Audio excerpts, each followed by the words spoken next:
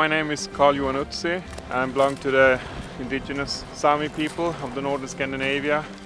I grew up in a reindeer herding family and we use almost everything from the reindeer. The meat, the hide for clothing, the fur, the bones, the antlers for handicraft. Even today when we're living a very modern lifestyle, the reindeer is essential to the Sami people. I would love to be a vegetarian, but nothing grows here.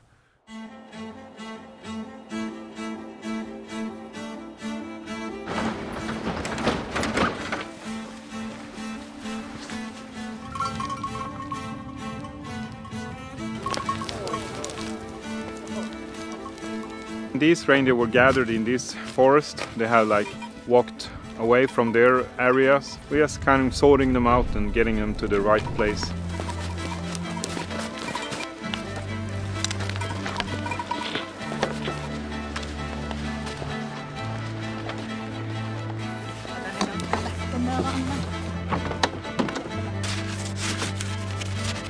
They got the reindeer.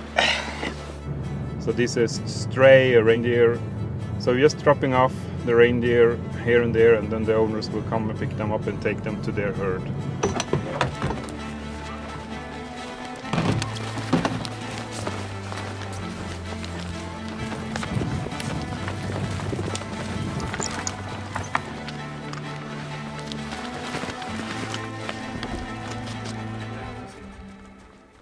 It's very dangerous. It's considered Sweden's most dangerous profession.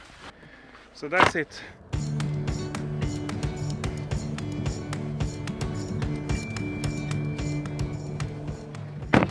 Hello.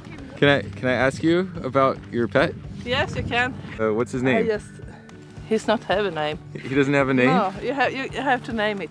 Oh, I'll name it. Yeah, you name it. What's his name? I didn't know. Whitehead. Whitehead. Hello, Whitehead.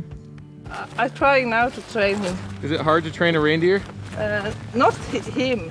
He follow me easy. Hello. He's so soft. Well, thank you very much. Good luck with the training.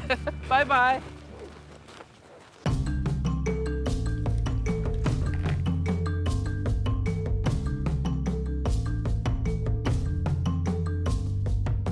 These are birch roots uh, that I gathered from the forest. They're made for cheese. Traditionally, you would press the cheese so the fluid would go out through these holes. You can buy cheese nowadays at the store, so not so many people do their own cheese. This is uh, traditional Sami fast food. It's uh, reindeer meat and it's smoked, salted and air dried. Perfect, you're natural. Chilla, chilla. What?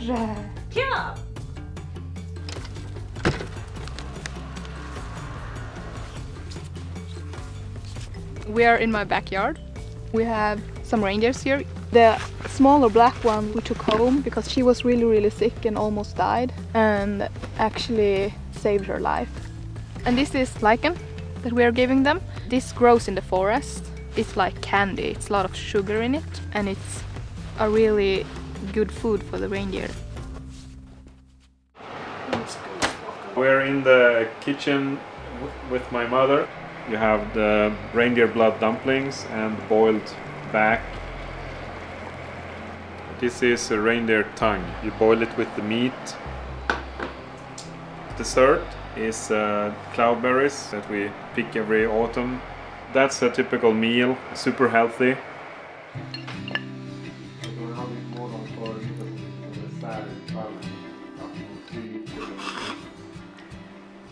Good, good. Gonna eat some tongue.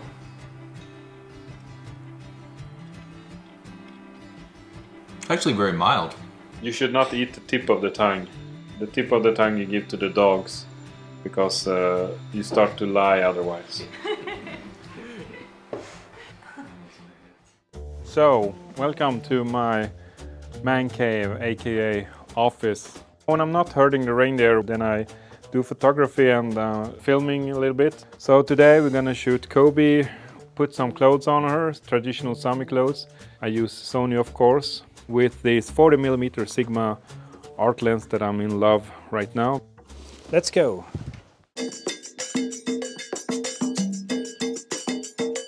Hello. Hello and welcome to us. Who's this? We have four boys, and but they are all grown up. And we will work here today.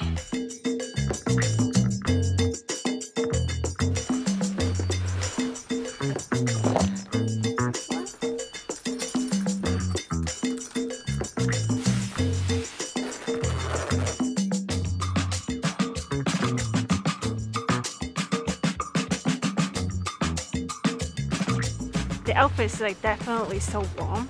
I think it's warmer than my modern clothes. Okay, lift your chin.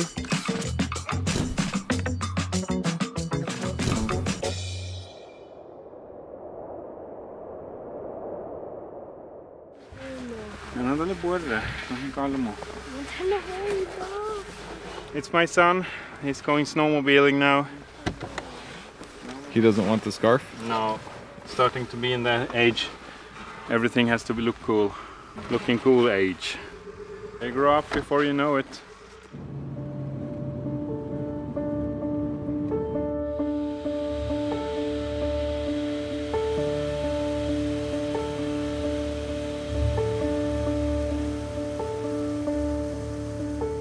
As you can see, we're filling up pellets. It's reindeer food.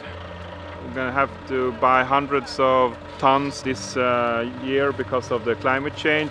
So the reindeer eat from the ground lichen and due to the climate change you get these warm periods in middle of the winter like today and yesterday it was raining and uh, when it freezes back up it will be very hard packed snow and ice which makes it impossible for the reindeer to reach the food which, which is on the ground below the snow. So we have to give them extra food. Mean, the future for reindeer herding is grim. I think this is, uh, I, I am probably the last generation of reindeer herders. That's sad but true.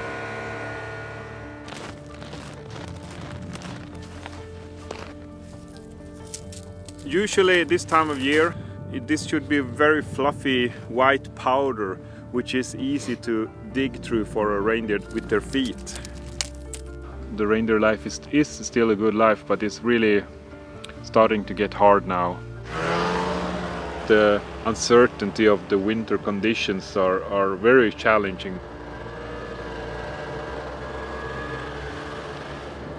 I do not want to give up reindeer herding. It's like honoring my ancestors. It's something that rooted really deep within you. In a way, you don't have a choice. You just have to go to the end of the path. Back now in the main city here, Luleå. And the weather is completely different. Way too warm. It's like uh, 5 6 degrees. We've got some people here trying to enjoy what's left of the ice.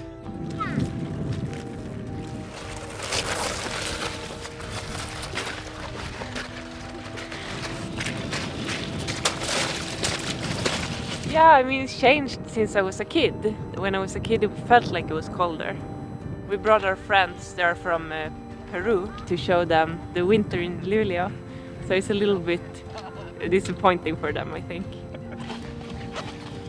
The snow doesn't really stay the way it used to. Winter doesn't really stay the way it, it used to.